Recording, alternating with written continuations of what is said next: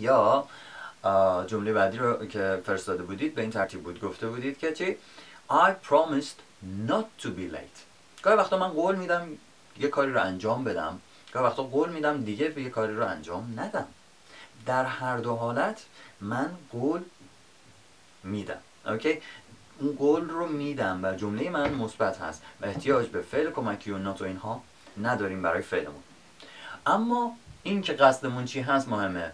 من قصدم اینه که دیر کنم یا قصدم اینه که دیر نکنم. حالا که دیر نکردن هست این قصد به حالت مستری چون میاد برای منفی کردنش هم از نات استفاده می‌کنیم بدون فعل کمکی. نمیگیم I promised uh, don't be late. I promised uh, was not late. Uh, I promised I'm not late. اینجوری دیگه نمی‌تونیم بیاریمش دیگه چون فعل کمکی نمی‌تونیم بیاریم برای مصدر. درست؟ فقط not رو میاریم براش. OK این هم این مورد یه مثال دیگه بزنیم. چند تا مثال رو با هم دیگه کار کنیم که قضیه قشنگ جا بیفته با هم دیگه کار کنیم و این حالا ویدئو یه مقدار طولانی میشه. اگر شما مورد رو گرفتید ایرادی نداره اکسپت کنید. می‌تونیم بریم سراغ یه ویدیو یا مورد دیگه ای اما اگر می‌خوایم با هم دیگه مقدار بیشتر تمرین کنیم با مثال ها این رو هی کار می‌کنیم. به حال نکته های بیشتری داخلش مرور میشه.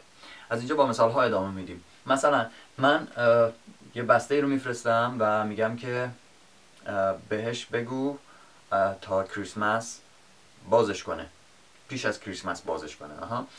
tell him to open tell him to open the gift before Christmas. Tell him to open the gift before Christmas.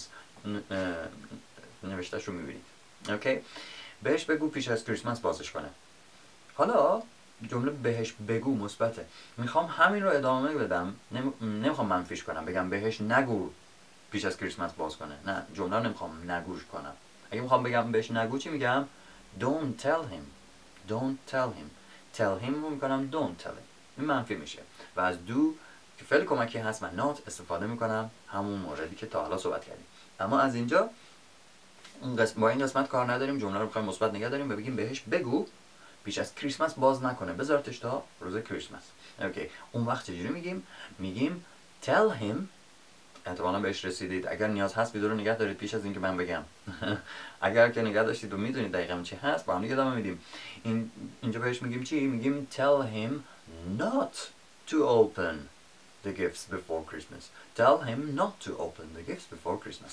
مشخصتر شد براتون. مثال رو تونستید بهش دسترسی پیدا کنید.